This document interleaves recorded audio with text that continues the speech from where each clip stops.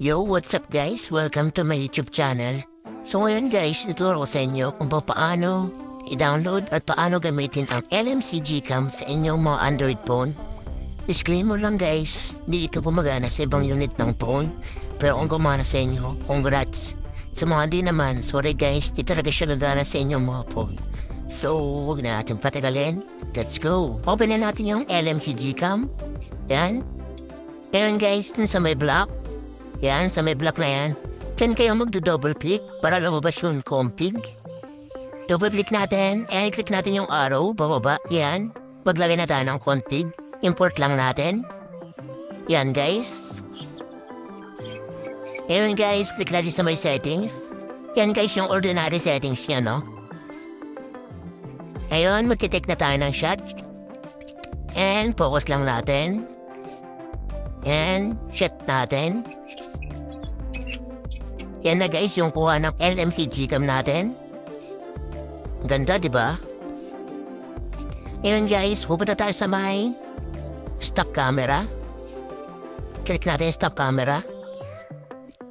Yan. And pagtitake tayo ng shot. Click natin. And tignan nyo naman yung pinagkaiba guys. Yan yung pinagkaiba niya. Sobrang ganda ng LMC Gcam natin. Ayan guys, magtitik pa tayo ng iba pang mga shot. Paiga natin, yan. And focus lang. And shot na naman. Yan guys. Tignan niyo yung sky guys. Ang ganda, ba? Yan. And doon naman tayo sa iba. Lugar. Yan guys. And click natin sa may building. Shot natin yung building, guys. Yan. And wait lang natin, guys. And yan na siya, guys. Tignan niyo naman kung gaano kaganda at gaano kalinaw. Nag-iba na yung camera niyo, guys, no? Yan. And mag-take pa tayo na ba pang mga shot? Take pa natin ulit. Yan. And pause lang natin. And shot. Yan, guys. Tignan niyo naman kung gaano siya ganda. Blue sky na blue sky. Papapakanta na ng blue sky waiting tomorrow. Yeah. Yan, and yan guys, dito naman tayo. Mag-picture tayo. Yan, sa blue sky. And, click natin. Yan guys, zoom natin. Ang ganda, di ba? Magigiba talaga yung camera nyo guys dito sa LMC Gcam natin, no?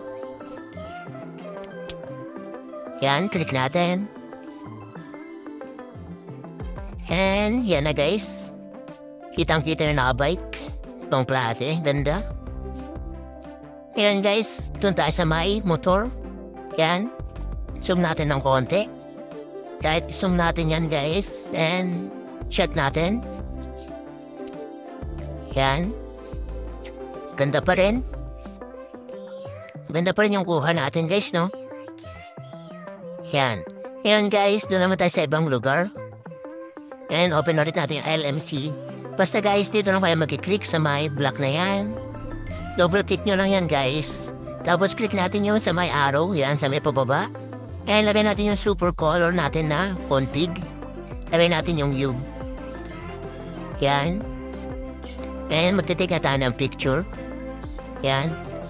And picture tayo. Yan. Makikita nyo guys, yung picture niya parang anime na sa ganda. Ganda, di ba? Ganda ng pagkakakuha guys, no? Yan. And magka-take pa tayo ng iba pa. Higaan natin. Yan, para mas maganda. Yan guys. And shot. Wait lang natin. And yan guys no, ganda 'di ba?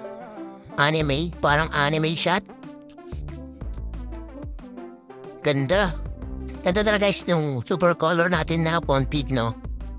And marami pa tayong config guys kaya mag-subscribe na kayo para lagi kayong updated sa aming YouTube channel no. marami akong ilalabas na mga config. Kung gusto ng iPhone, marami tayo niyan. Kahit mga Sony, meron tayo niyan. Yan guys.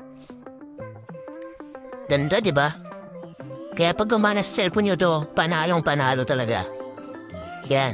Titla sa mga halaman. Picture tayo. Picture natin. And shot. Yan. And ganda guys. Picture natin ulit. Yan. And yan yung shot niya guys. Ganda di ba? Ganda ng kulay no? Ganda ng pagkaka-saturated ng kulay niya. Okay guys, yan. And mag-take pa tayo na babang picture. And click natin, pause, pause. Yan. And click natin. Yan guys, kahit against the light yan. Okay pa rin yan. Yan. Ngayon guys, ituturo ko sa inyo kung paano i-download yung LMC Gcam at saka yung mga config. Punta na tayo sa my description box. Yan, click natin yung more.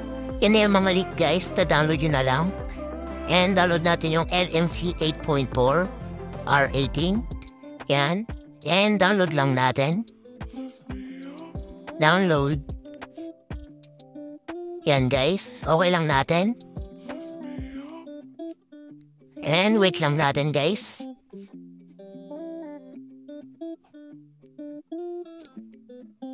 Yan guys, okay na. And install lang natin yan guys.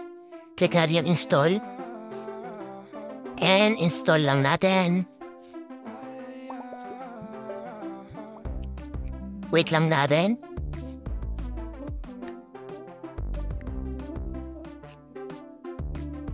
Yan guys, open na natin. Yan guys, allow lang natin lahat yan. Allow, allow, and allow. Allow lang natin lahat. Click natin yung sa may done. And punta tayo sa may taas, sa may arrow. Yan, click natin. Tapos punta tayo sa may more settings. Yan guys. Ngayon guys, punta tayo sa may config settings. Click natin. And sa may save settings. Tapos yes lang natin yan guys. Yan. Okay na guys, meron na tayong config na XML. Map natin. Map. And click natin yung block guys, dalawang beses. Yan guys, meron na tayong XML. Yan guys, balik tayo. To-download pa natin yung mga config. And download lang natin lahat. Download. And wait lang natin guys. Mababa lang naman yan. MB niyan guys. And download pa natin yung isa pa. Yung pangalawa. Yan. Okay guys. Tapos yung isa pa. Yung pinakalas. Download lang natin lahat. Yan. Okay na. Yan guys. Magbabak tayo. Punta tayo sa my file manager. Click natin file manager. And yun guys. Punta tayo sa my download. Yan, click natin yung sa may download. Yan guys, i-click lang natin lahat yung mga config. Click lang natin lahat. Yan. And click lang natin yung sa may move. Yan guys, lalagay natin siya sa my LMC folder. Yan. And move here lang natin. Yan guys, okay na. Okay na guys. Ngayon guys, punta na tayo sa my LMC Gcam natin. Hanapin lang natin guys. Yan, open natin yung LMC Gcam. And yan na guys, magkakaroon na tayo ng config na super color. Lagay natin yung yung import lang natin. And that's it guys, meron na tayong super color config sa ating LMC Gcam. And thank you for watching guys. Marami pa tayong ilalabas ng mga config kaya subaybayan nyo. And hanggang dito na lang yung video. Salamat sa panonood.